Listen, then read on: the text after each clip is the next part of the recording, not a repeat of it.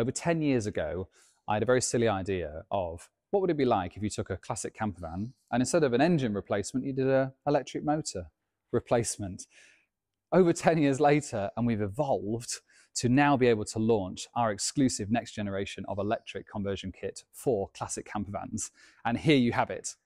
So for the first time, we are able to offer a single battery box with the highest capacity of batteries possible for the longest range possible. We are able to offer an incredibly compact and powerful motor that's still three times as powerful as your original engine. And the installation is even better. You can get all of this in and out of a classic camper van in around about an hour. Welcome to EDUB Services. My name is Kit Lacey. Let's dive into what makes our latest electric conversion kit for classic campers so incredible.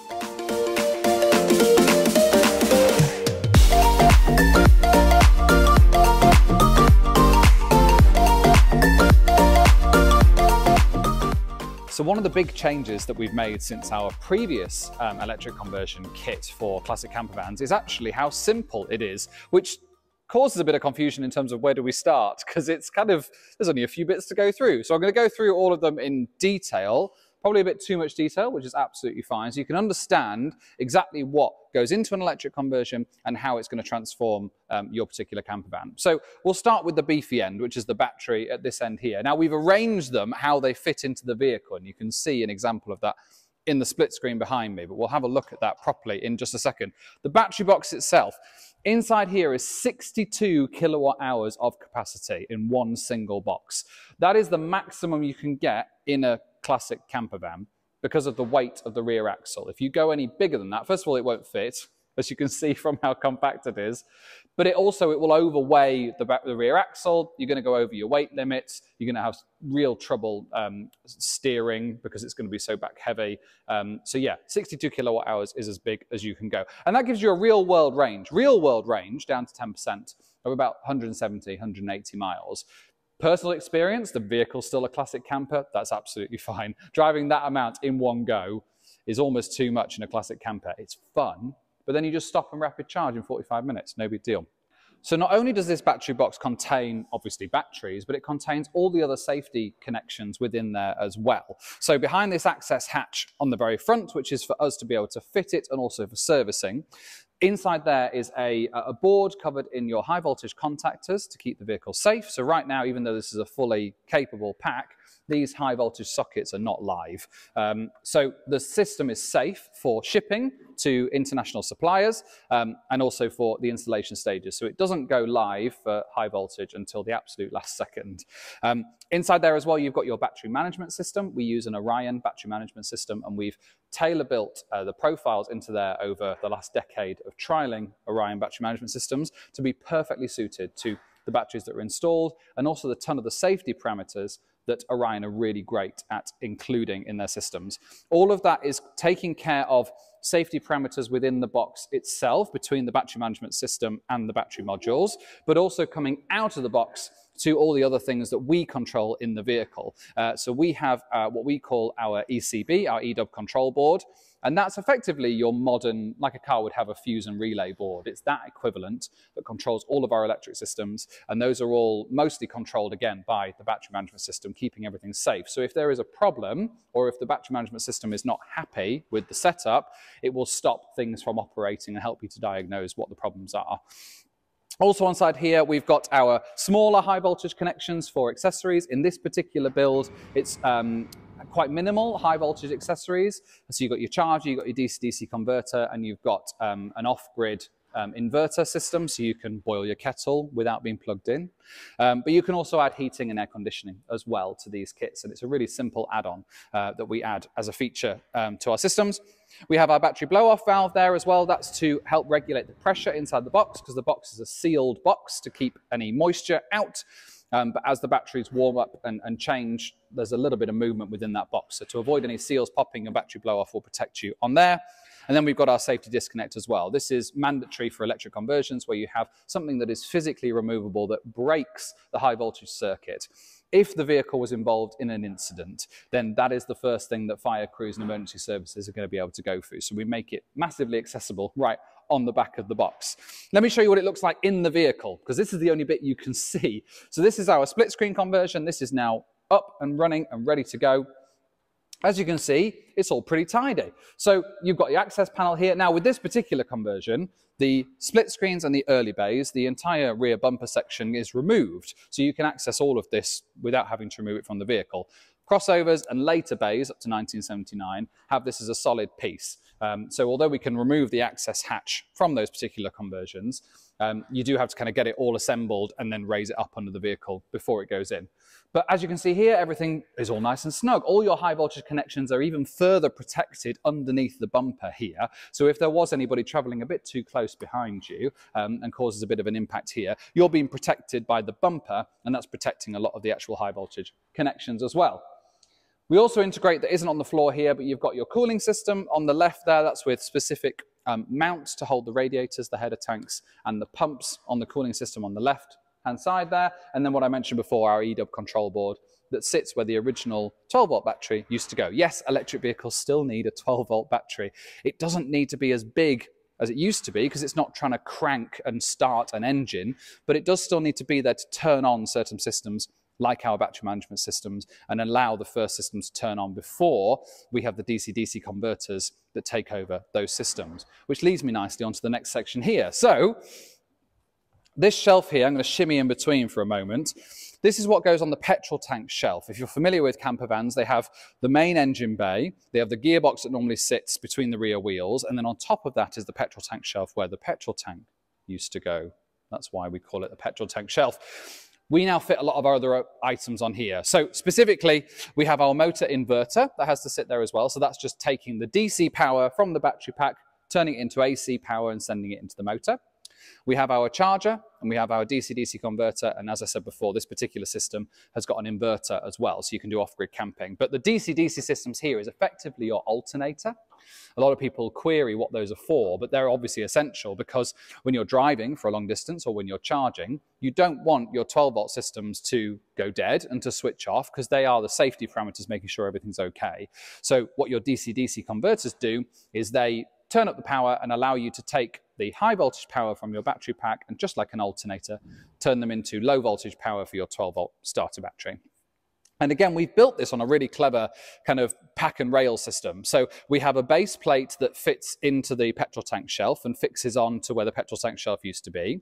And then we have all the different components, because these are quite various of what actually fits on top of that plate. So whether it's this particular inverter or we have a different motor that we're now using for some of our conversions, which is slightly different shape and different mounting points.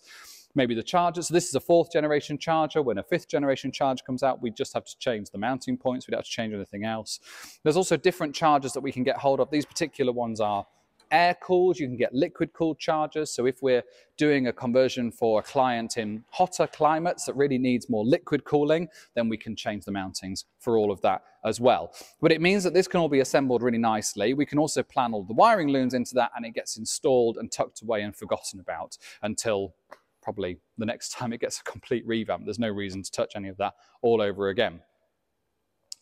Finally, we'll talk about this particular system here. Now, We'll get onto the motor in just a moment. This here is really crucial. So one of the big things that's an issue with electric conversions is how much of the vehicle you're altering when you're installing certain components. You can't cut the chassis, you can't weld to the chassis, and you can't bolt uh, or drill into the chassis either. So what we elected to do is we've taken this tubular frame system that's been engineered and designed to effectively add an extra chassis to where the mounting points already are. So picture that this end here is the back of the vehicle, and at the front end here is where the gearbox used to mount. So originally this was your gearbox space and this was your engine space. And we pick up off the mounting points that were there originally. So we're not adding any extra holes. And that means the whole thing is really easy to install. So I can, one person can get all of this out of the vehicle in less than an hour. That's incredible from a functioning vehicle. So that's disconnecting everything, that's undoing the bolts that need it, and it drops the whole thing out underneath. So from an installation perspective, for our international partners who are looking to supply these to their clients in different countries, it makes it an absolute breeze to be installing and, and, and disassembling as well. But then we built this system to be obviously as strong as possible. And then the battery box itself raises up inside these rails. So you install this system first with the motor on itself. So that rolls under the vehicle and bolts on. That creates your second chassis that we can then attach our battery pack onto that keeps the rigidity and the strength. It does add a bit more weight. So this particular variety is our biggest battery pack, as we said. So it adds maybe between 100 and 150 kilos. So it's the equivalent of having two passengers on your back seat.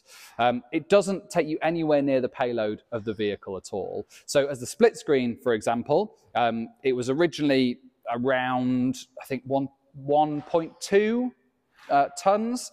Um, it takes it up to about 1.5 with the entire electric conversion, which still gives you 500 kilos of carrying weight, which is more than enough space to bring a few um, visitors with you and luggage and things like that. So we don't go anywhere near the payloads of those. Obviously, the later campers, so the bay window campers, have got even higher payloads, which again means you've got even more space to be carrying stuff. So the motor itself, now, in this particular variety, this is a Zonic motor um, that we've installed and we've tested. Zonics um, are slightly underpowered, or they're, they're, well powered for what it needs. So it's 70 kilowatts, which is um, about 90 brake horsepower, which is still double, arguably, maybe triple the power that the original engine used have. So it's absolutely fine. Um, but we also have other varieties of motors um, that we now supply with these as well that are uh, slightly more powerful. So they're 120 brake horsepower. But for the purposes of this video, the more powerful motor is in the split screen at the moment, um, and this is the motor that we have in front of us. So as you can see, it's a, it's a standard high voltage motor. That's this part here. That's taking your power from your inverter. So it's going DC power from your batteries into the inverter, switching it to AC, coming around into your motor. That's then spinning into the transaxle gearbox here, through the reducer, and out to the drive shafts on each end. And again, we've tried to keep the drive shafts they have to be custom made because they're different lengths, but your CVs on the outside and your wheels all are identical. None of that needs to change. Um, and again, depending on your vehicle, you might not need to change anything else in the vehicle either, even though you're adding more power. Because of how we are delivering that power, it makes it more responsive and more capable, but it doesn't tear the vehicle apart. But the beauty of these motors, as you've seen here, if you've seen our previous video with the Tesla motors, they were quite a bit bigger than this, and they had to sit further forwards in the vehicle to actually fit between the, um, the rear uh, system. Whereas this motor is much, much smaller and we'll be able to tuck it right under the vehicle where the gearbox used to be, which has allowed us to get one single box with all of the height in. So the, the actual linchpin of what's enabled us to switch from the Tesla systems to these systems, bearing in mind these are brand new, so Tesla systems are, are not brand new, so there's limited warranties we can put on those. These are brand new units, so they have much more protection over aftercare and serviceability as well. But this is the linchpin. So without something like this, we weren't able to develop a single battery box. Everything had to be in multiple battery boxes throughout the vehicle to fit it all in. So this has been an absolute game changer for what we've been able to achieve. Alongside all of these, if you are uh, looking to become an international supplier for EDUB conversions, you would also be supplied with all the other smaller components like your dash, your CCS charging port, and all of your wiring looms as well. All of those get supplied to you pre-built and pre-made to assemble into the vehicle as they go. So we already build all of our systems here in-house to enable our installations to be as swift and efficient as possible.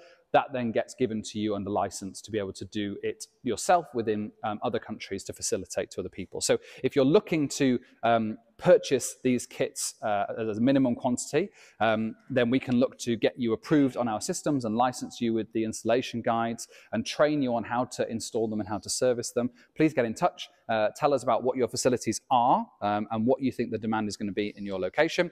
Um, and then we can look to take you through the process of getting more electric conversion systems into more classic campers so we can keep more of them on the road.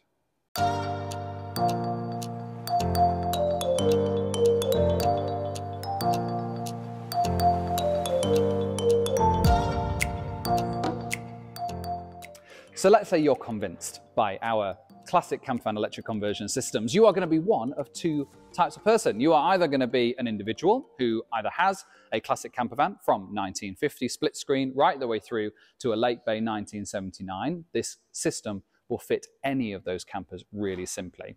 So that's what the vehicle has to be. If you have another vehicle that you want us to convert, get in touch, but that's not what this video is about. If you have another vehicle that's slightly outside of those realms, like a T25, T3, get in touch not exactly what this video is about. We can do it, but we'll go through that in a, a separate email this particular vehicle, you, you might have a vehicle that you want to deliver to us. Again, get in touch because this system is just available to order, to schedule into our fitting program with our staff and our facility here in North Yorkshire in the UK, and we can get you scheduled up for the installation into your vehicle. If you need help finding a classic camper again, get in touch because we have links to be able to source you the perfect camper and we can even kit it out to exactly how you need it to be. Maybe you're a trade customer Maybe you are looking at this as an investment opportunity to get into the electric conversion market and you think partnering with EDUB is the way to go. So then again, please get in touch. We are looking at um, expanding our facility now that the hard work has been done for the R&D to create the systems. Let's get more of these systems into more um, electric camper vans uh, around the world. So if you're a trade customer and you're looking at ordering multiple kits of this to be able to offer to your customers or other clients within your area, then again, please get in touch uh, through the website, which is edubconversions.co.uk, or you can drop us an email. My personal email is kit at edubservices.co.uk. Please let us know what makes you the perfect partner to be able to bring these campers to more people around the globe. Thank you again so much for watching this video. If you've enjoyed it, why not like the video and subscribe to get notifications of how these videos land in your inbox and also maybe share it with somebody that you know. Share it on socials, share it with other people within your network, uh, and tell them all about the work that we're doing here to keep more of these classic campers on the road. Thanks again for watching. My name's been Kit Lacey, and we will see you again next time.